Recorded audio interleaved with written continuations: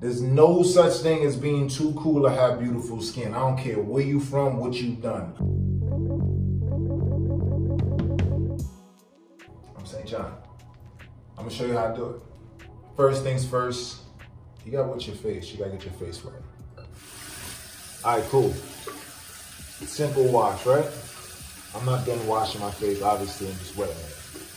First thing I start with is this. It's a gentle exfoliant so you can really do it for a while. I like lathering my face. I like knowing for a fact that I'm giving myself love. Self-love happens in the mirror, in the shower, by yourself. You know what's a myth?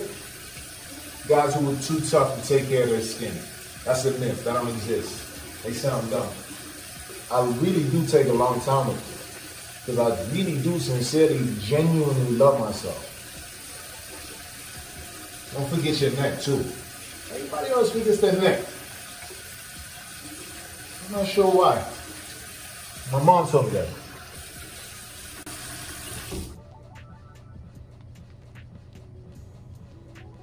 I don't know the difference between a pat dry and rubbing a joint all over your face. You got sensitive skin, you might want to take your time. The second order of business. This is rose hip oil. If you've never seen it before, take a look at that. Because I've been traveling, your skin will get dry because you're traveling.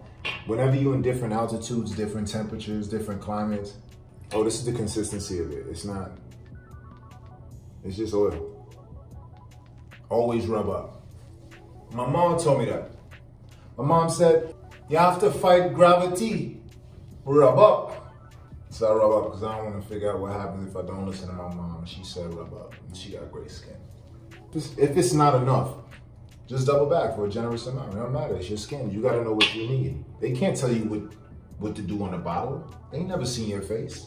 They never wake up next to you. How do you know how much you need? They give a general prescribed amount, and then you got to figure out what's best for you. My skin feels amazing.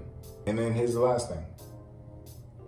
Because if you really love yourself, you'd never neglect vitamin C. Vitamin C will save you a misery, tears, and I'm staring at old pictures.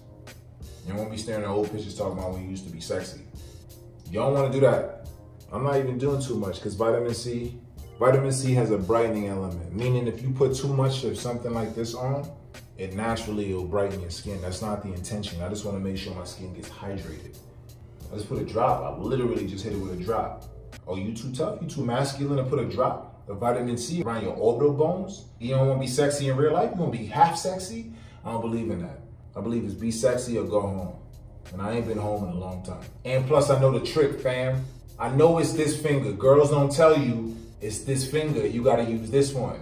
Because this is supposed to be the one that applies the least amount of pressure. So when you just tap in it like this, because the skin underneath your eye is the most sensitive skin on your entire body. There's no such thing as being too cool to have beautiful skin. I don't care where you from, what you've done. Bumpy, greasy, beaten, broken, ruffled skin, that ain't what you really want. I, I, don't care what you look in the mirror and tell yourself, I know what you really need, I know what you really want.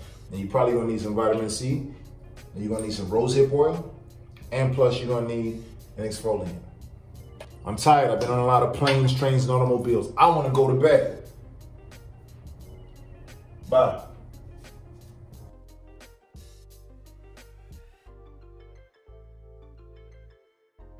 I forgot to shut you up.